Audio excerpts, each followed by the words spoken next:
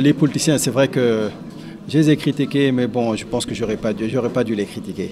Mais aussi, il faut vraiment conscientiser les Sénégalais, leur dire vraiment de regarder le bon profil. C'est-à-dire qu'il ne faut pas voter quelqu'un parce qu'il parle bien ou qu'il a été longtemps dans la politique.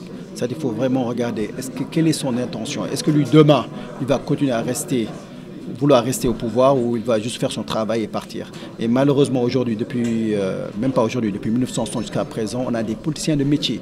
C'est des gens, à part la politique, ils font rien d'autre. Et c'est pour ça qu'on a le même phénomène qui se passe année après année, c'est-à-dire que des présidents qui sont au pouvoir, qui abusent de leur pouvoir et qui font tout pour rester au pouvoir.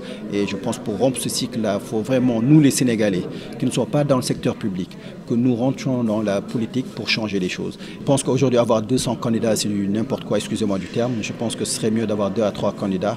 Donc, euh, moi, je n'ai pas de problème, je n'ai pas d'ego. Je pense que ce serait bien si on se retrouve euh, autour d'un candidat. Mais ça, c'est moi. Après, les autres, ça, c'est autre chose.